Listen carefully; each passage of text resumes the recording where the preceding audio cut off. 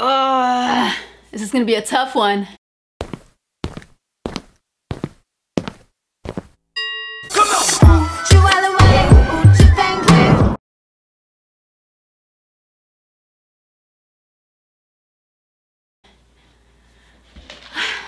Oh my god.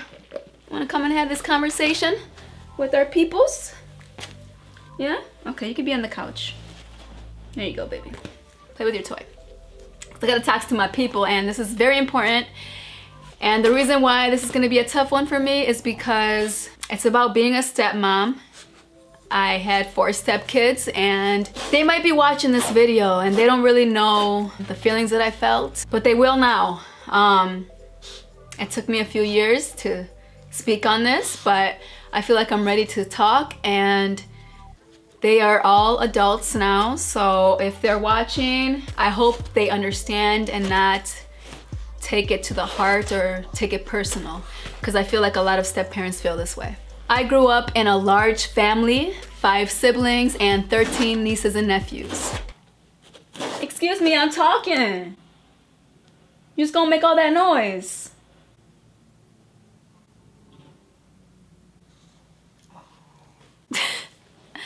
Back to the story. All four of my sisters had kids at a young age. I've always wanted children since I was 19 years old. And as time went on, I've always dated women with children. I didn't go out looking for them now. I wasn't out there hunting. It just happened to be that way. So as for children of my own, I didn't look deep into it until I was married. I went from being single with no kids to all of a sudden being in a relationship with four kids and a grandbaby. And I believe I was 29 or 30. I'm not quite sure with the age, but around that time. And as time went on, that one grandchild turned into five grandchildren. Big family. But even when I dated women with children, I always understood that the kids come first. And me knowing that and understanding that, Gizmo,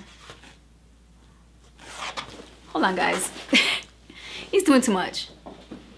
And me understanding that going into the marriage, usually the person with the children would let their partners know ahead of time that my kids will always come first. Well, guess what? My ex-wife did not have to tell me that. I already understood it. But I wanted her to know from me, your kids come first, even before you. And I know they're your children. I'm in that role and in that position and I love these kids that even before you, your kids will come first to me. So let's talk about my stepkids. Um, when I got into the relationship, the youngest was 12 and the oldest was 19. The 19 year old at the time um, already had her baby and she was already off living on her own, being independent, being a mother. So I didn't help raise her at all. I don't think that I fulfilled a parental role in her life, but I was there as more of a an adult role in her life to where I would give advice and have conversations, stuff like that. I was actually close to her baby. Her baby, oh, she's the cutest. He was actually like three months old when I got involved. The younger three, think about it. They're teenagers, so there's a lot that comes to play. There's puberty, there's the hormonal changes, but on top of that, they come from an unstable household from both parents, not just one. And in my opinion, I feel like one did play more of a parental role, but they were also very selfish in a lot of ways, and the other parent was more of a friend to the kids. They, they dealt with a lot and I understood the situation that I was in. Now mind you, because I never had kids of my own and everyone that I've dated with children, I was never in that committed relationship to where I helped raise them, okay? Especially from birth. I never raised infants to toddlers to preteens. No, I just jumped right in into teenage years. I had to learn quickly with no parental experience. Now mind you, I know there's not a, a, a book on how to be a parent, but you learn these things as time goes on. You're learning your mistakes, so on and so forth. I didn't get those 12 years that my ex-wife already had. I had to just learn quickly on how to fill in that role. And especially in a two-woman household. You know, this is this is no father-mother household. So it's a little different, especially when one of the teenagers starts to have boys over to the house and you know, These boys think they can get away with shit because there's two women in the house. you must be joking. I am a protective person, especially when it comes to girls and women in general, you ain't gonna come in this house and play that little slick shit. Cause even though there's no man in the house, I put my motherfucking foot down. You ain't just gonna be all up in the room. Uh-uh, ain't gonna happen. Ask my stepdaughter. These boys were nervous around me, okay? And I'm not trying to put fear in them, but at the same time, I'm trying to let them know that you can't take advantage of my stepdaughter or our family in our home. Ain't gonna happen. But anyways, I'm getting sidetracked. And I will say, um, even though their mom and dad had a lot of faults in the kids' upbringing, these parents love their children, okay? They love their kids. And they'll do anything to make sure that their kids are okay. I just wanna make that clear. But they were young parents and they were kids raising kids. So there was a lot that went wrong to where it could have caused a lot of trauma with the kids and stuff like that but I'll get into that later. As for me I um, once I stepped into that role I was providing a lot and um, I felt at times that I was providing more than the parents. For example, there was one day where we were having the kids for the summer and, and one of my stepsons came to the house and his long sleeve literally came up to here okay? He obviously outgrown this shit. His jeans on the bottom were completely ripped. His shoes look worn the fuck out and it pissed me off so bad when I saw this. I'm like, we're not even going inside the house. We just got home. I'm like, we're not going inside the house. We're gonna go to the store right now and we're gonna get you some clothes. Sure enough, we went to the store and I bought some clothes for him. It was just like, oh, just so upsetting. I didn't have the funds for it. I just got this house for the family and I'm barely making it. I have no money to spend on myself, but I made it work. Like I did a lot of overtime just to make sure that the kids were okay. Some of you might be a little confused on why um, I say that we had the kids for the summer. Well, their father had full custody of the kids um, and he lived in a different state. So when I got into the re relationship with my ex-wife, she just got out of prison. She served three and a half years in federal prison. This was before I came into the story. And she told me the situation and she just got out not too long ago and she's working two jobs at the time and she was really trying, trying really, really hard. And she would always take those trips to that other state to make sure um, she was there for her kids and she did her best with what she was given. And I want to make it clear too, before she went into prison, she had full custody of all the kids. So she's not a bad mother. I want to put that out there. Just shit happened in life where she felt that she had to do some things for her family and at the end she lost everything because of it. So coming out of prison she did her best. But when I got involved, I noticed, you know, when it comes to custody and kids, like a lot of, there's a lot of shit that goes down. Um, there's a lot of power um, that the person with the full custody has and they know they have and they take advantage of the situation. So there was times where their father would get upset with their mother and has nothing to do with the kids, but because he's on a power trip, he would literally not let her see her kids. And that pissed me off because I know how much she loved her children and I'm like, that shit ain't gonna slide. I don't like that shit, it ain't gonna happen. I'm gonna do my best to make sure that doesn't happen anymore. So I literally picked her up one day, this is before we lived together, and I said, we're going to this state. I don't wanna say the state, but uh, we're gonna go to the state and all the kids are in school. We're gonna go to the library out there and we're gonna fill out some paperwork so you can have joint custody of these kids. So that's exactly what we did. I drove her to that state.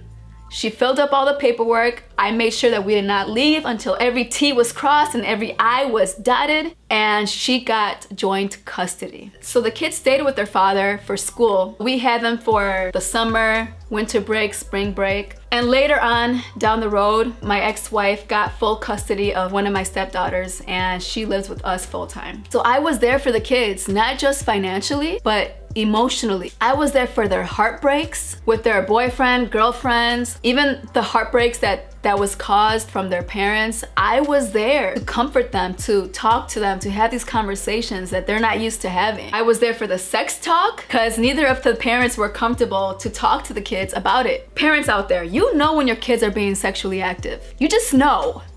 And I knew when my stepkids were being sexually active. I had to make sure that we provide these kids with enough information to make sure that they're safe. My stepdaughter that lived with us was having hard times when she was living with her father.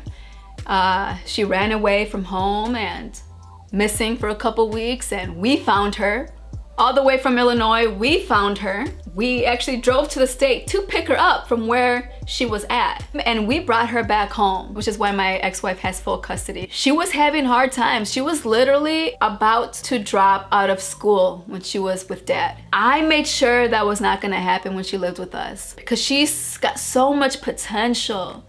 This little girl is smart. She is mature for her age and she just thinking about it,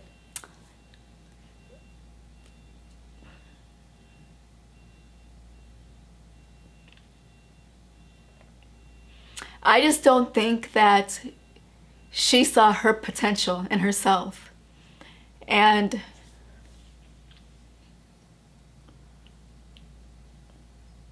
sorry guys. And I wanted her to see it.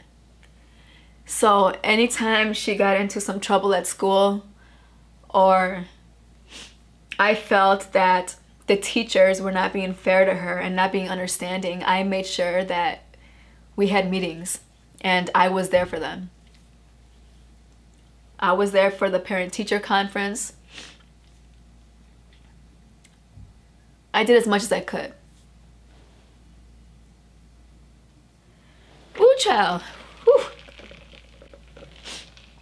I knew this was gonna be a tough one. And in doing so, I was also the disciplinarian. Whenever the kids made bad decisions, there was some type of discipline, discipline involved. Whenever they do make those mistakes, I want them to learn their lessons, which is why we would ground them, we would take away their phone, take away their games, not let them go out with their friends on the weekends. And a lot of these decisions did come from me because mom was friend. Mom was their friend. And I had to step in as a disciplinarian in the house because although experts will tell you that the step parents should never be the chief disciplinarian because it will backfire on them, I still felt that I had to be. Because if there was no other parent that was able to step in and discipline, then I took on that role. And I knew the kind of consequences that can happen from it if I did it but I took those chances. And I mean, later on, it, it did backfire a little bit, which caused a lot of my ex-wife's family members, siblings, um, her mom, and extended family members to have an opinion about our household because of it. And my stepkids are kids they were young and not understanding the situation and they can be very upset. Their stepmom is is telling them what to do when mom won't even tell them what to do. So I'm sure they were very emotional about those about those moments and so they would go back to my ex-wife's family and vent. So instead of these adults on my ex-wife's side of the family, having them understand why I was making these decisions instead of just listening to my stepkids vent, they added fuel to the fire and they just caused a lot more problems in our household than they should have, which made it very difficult. Disciplinary action only happened when there was bad grades in school or any disrespect was happening. By the way, my stepkids are very respectful. They were teenagers. They have their moments and it happens. And I made sure that before I disciplined that I have conversations with them. So I would be in the rooms with them and talk to them and explain to them this has to happen because of their actions. But I also always let them know that I still love them and I know you're upset I know you're mad at me and I understand, but I still want you to know that I love you and I'm not doing this to hurt you. I'm doing this so that you understand that there's consequences to your negative actions. I always let them know that I love them, but I also rewarded their good behavior. Every time they went from a D to a B. And any type of action that I saw that was that they went out of their way to do, to show any type of effort, they were rewarded. Because just like consequences to negative actions, there's rewards and benefits to your positive actions. Guys, I took them out to concerts, to weekend getaways, to vacations. I took them to their first flight on a plane, to Universal Studios, to Las Vegas. Like I I wanted them to have an awesome childhood. These were things that I wasn't able to do because I grew up poor. And honestly, at the time, I still was living off paycheck to paycheck. But I worked overtime every week to make sure that they have awesome experiences and memories. Not just the troubles and the struggles. I wanted them to be happy. I want to talk about my proudest moments being a stepmom. The fact that my stepkids were very respectful to the adults and to me and to their parents their parents raised them on their own and they deserve all the credit for that. I liked to see that continuing while I was while I was there. But like I said, they they were going through some troubles and my stepdaughter was dealing with it the hardest.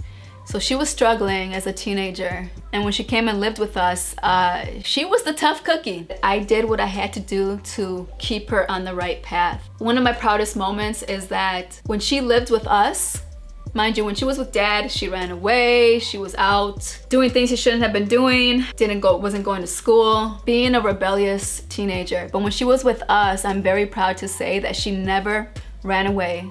She never snuck out of the house. And um, another proudest moment that I have with my stepdaughter is that she graduated high school. She did it she did it. And as an adult now, she has kids of her own. After my ex-wife and I divorced, she talked to me on the phone and she cried.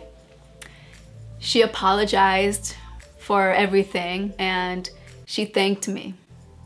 She said that if it wasn't for me, she would have never graduated high school. So, ooh, that was, that was a reward. That is what I'm happy about knowing leaving the relationship that I helped the kids in some way. That's just a couple proudest moments. I also want to talk about my failures as a stepmom. I believe I was too strict. I was so protective of my stepkids due to my experiences growing up that I didn't allow them to have their own experiences and learn on their own. I just didn't want them to be another statistic due to their shortcomings and their trauma. Because of that, I kept them on a short leash. And I realized um, as years passed on that they needed room to breathe. But I also did not want to be too lenient because that's what I believe their parents were. So I should have been somewhere in the middle but as you parents know, there's no book to being a parent. So jumping into a situation with with teenage kids, I had to learn quickly and that was my downfall. As a stepmom, I, I was too strict. Being a step parent, I love these kids. I loved every single one of them, including the grandkids. I don't have any of my own and I've always wanted kids. I tried to have children of my own with my ex-wife. I did go through six IUI procedures to try to conceive and they all failed. So I wasn't able to have a child of my own. So when that happened in the marriage, these children were gonna be the only kids I ever have in life. They were my kids and I treated them that way. But what also comes along with that is was some hard times as a stepmom. And one of them was feeling lonely because by the end of the day, I am not their biological mother. They are not my biological kids. So whenever I would have arguments, the kids would always go to her to comfort her and to hug her and to be on her side. They never got involved in our arguments, but from time to time, they felt the tension. After an argument that we had, they see that their mom is feeling a little down. So they would always go and comfort her to where I didn't have that. Even during the times where my ex-wife was at fault, that's still mom. And they're still protective over mom and they still want to make sure mom is okay. Even when they know she's wrong. And that's normal and that's natural. During those times was it was the hardest for me because I didn't have that comfort. I didn't get to feel loved during those moments. Especially during the first few years of our relationship, um, Mother's Day was hard for me, especially after failing to conceive and making the, the decision to not try anymore, that I was going to live the rest of my life without having a biological child. Mother's Day was and still is hard for me. So during those first few years, the kids would do something sweet for their mother and I of course would do something sweet for her as well. But it seemed like I never got recognized or appreciated for my role in the family as a stepmom. And I think a lot of step parents feel that way. Um, not all, but a lot. Until I actually opened up and I talked to my ex-wife about it and how I felt. I think she had a conversation with her kids separately um, when I wasn't around because shortly after, when Mother's Day came around, they did recognize me it did recognize the fact that I was also mom and I got my happy Mother's Day. Another reason why it was hard at times was what I've already talked about when um, my ex-wife's side of the family would get involved in our household. They made sure to talk down on me to the kids and they made sure to say a lot of bad things about me um, when I wasn't around or on social media or they just made it very difficult for me. And I wish they knew where my heart was. I wish they understood why I made certain decisions, but they didn't. And a lot of it stems from me being a step parent, me not being their biological parent. And a lot of their feelings was I shouldn't have a say in certain things. But I was the head of the household. so it's like you have to respect me in some way. If you really got to know me on a personal level, you would understand that my intentions were always good. Not good, great. I love these kids. I wouldn't do anything to harm them. And um,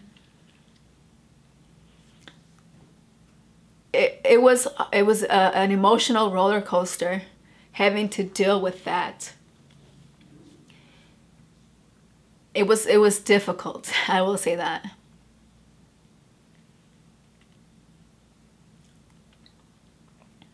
And it's it's crazy because after the after the divorce, um, my mother-in-law, I think she understood it a little bit more, and she started to reach out to me and talk to me and stuff. But what's done is done. So speaking about the divorce, the aftermath as a stepmom. I knew that once the divorce was gonna happen, I knew that I wasn't going to have the same relationship that I did, that I had with my stepkids. And that's gonna be from both sides. I would love to be there for my stepkids for the rest of their lives, but in all reality, I am no longer married to their mother. Once I start the dating process, some of these women might have problems with me still having a relationship with my stepkids because they are not my biological children. That's a connection that still that I would still choose to have with my ex-wife knowing that they're not my kids that might cause some problems and I'm okay with still doing that and having a relationship with my kids after the fact, after the divorce. But by the end of the day, I don't have kids. I am single with no children. And I don't want it to be a problem when it's just a fact. That's what it is. I don't have any kids. But I'm not just gonna let go that easily. Um, I still talk to my stepdaughter, the tough cookie. Um, I have my relationship with her still. I talk to her on the phone. I send her some money from time to time to make sure she's okay. She still vents to me about certain things and you know, I'm, I'm her, I'm still like her go-to for advice and just a person to vent to. And I don't want to leave her stranded like that. I try to reach out to my stepson, the youngest, from time to time, but he's a boy. So, you know, he's out doing his own thing. You know, boys have more of an independence to where like they don't, the whole communication thing is not there. So whenever he comes around, you know, I'll be here. At the very end, I don't have a relationship with three of them. Still have a relationship with one of them, but I know eventually like the distance will happen and I am okay with it when it happens. But it was hard experiencing my other stepkids move away, distancing themselves. So that sucks when you're a step parent having to deal with a divorce because I went back to having no kids while these kids stayed with mom. And that kind of sucks. But that's what it is. That was my experience as a stepmother. And I hope you enjoyed this video. I hope you took a lot from it. If you're a step parent, comment below. Let me know how your experience was or is. And if you can relate to anything that I said here, it'll be awesome to read. Thank y'all for watching again. I appreciate y'all and I will see you in the next video. Peace.